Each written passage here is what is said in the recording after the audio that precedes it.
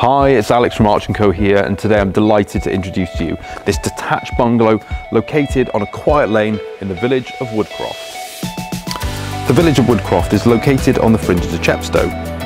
There are schools located nearby, with the village of Tutshill also offering a range of amenities including a butcher's and a shop. The town of Chepstow offers a range of further amenities including shops, schooling and a range of local businesses. It also offers great transport links via the M48 as well as rail links. The nearby Wye Valley and the Forest of Dean offer a range of outdoor pursuits, making it perfect for the outdoor enthusiast. So welcome to the bungalow. Let's go inside and take a look. This three bedroom bungalow has had planning permission granted to convert the property into a four bed detached home. The current accommodation comprises three bedrooms, one having an ensuite bathroom there is also a separate dining room as well as a kitchen leading out onto a cosy snug area with a log burning fire. The proposed plans would mean extending the property up into the roof space.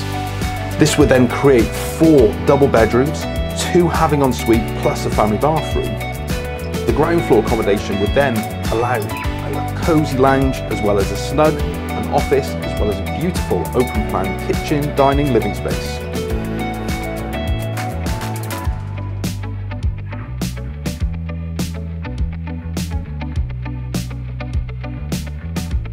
To the rear of the property, you've got private gardens.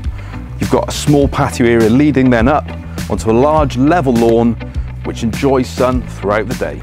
The property also benefits from parking for several vehicles.